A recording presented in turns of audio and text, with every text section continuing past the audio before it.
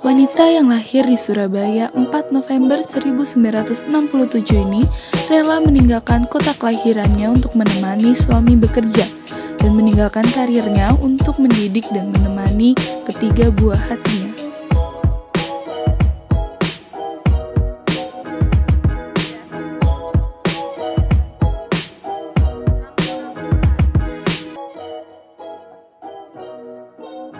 Nama saya Titi, saya ibu dari tiga orang anak.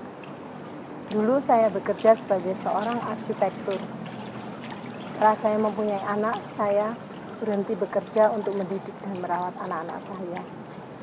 Setelah anak-anak saya tumbuh menjadi dewasa, saya memutuskan untuk kembali bekerja. Saat ini saya menjadi guru private untuk anak-anak SD dan SMP.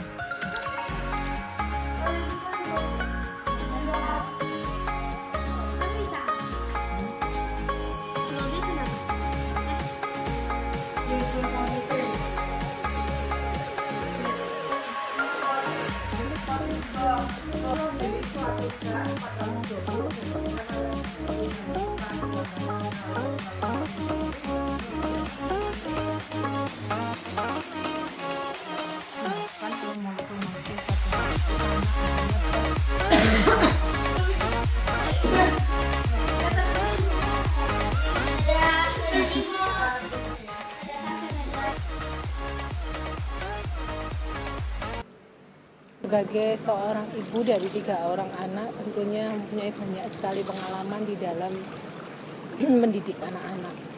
Banyak pengalaman berkesan, menyenangkan, tapi juga ada pengalaman yang menyedihkan. Bagi saya, pengalaman yang menyenangkan hanyalah ketika saya berkumpul dengan anak-anak saya.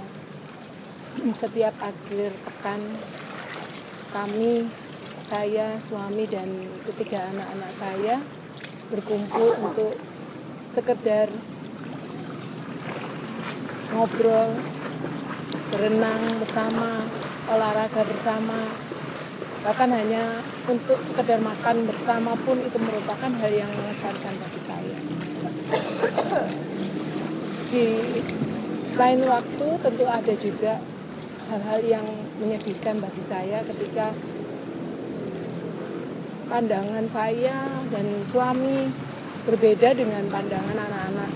Itu akan membuat konflik-konflik kecil yang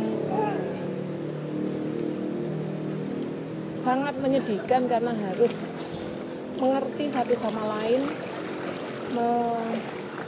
menyambung persepsi satu sama lain harus sama supaya kami mendapatkan sesuatu yang menyenangkan pengalaman yang menyedihkan tentunya ketika anak-anak dalam kondisi sakit terutama waktu anak saya yang pertama sakit dan masuk rumah sakit dengan kondisi yang harus pasang selang di hidungnya itu membuat saya dan suami merasa sedih dan berharap ke depan anak-anak kami dalam kondisi yang selalu sehat.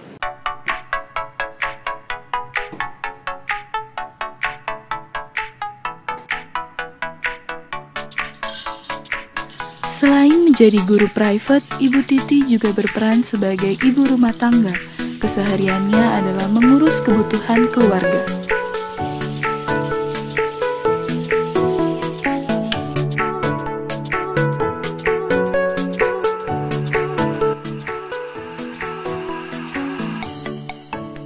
Kami hanya berdoa untuk keberhasilan anak-anak supaya mereka selalu dekat dengan Tuhan dan menjaga kesehatan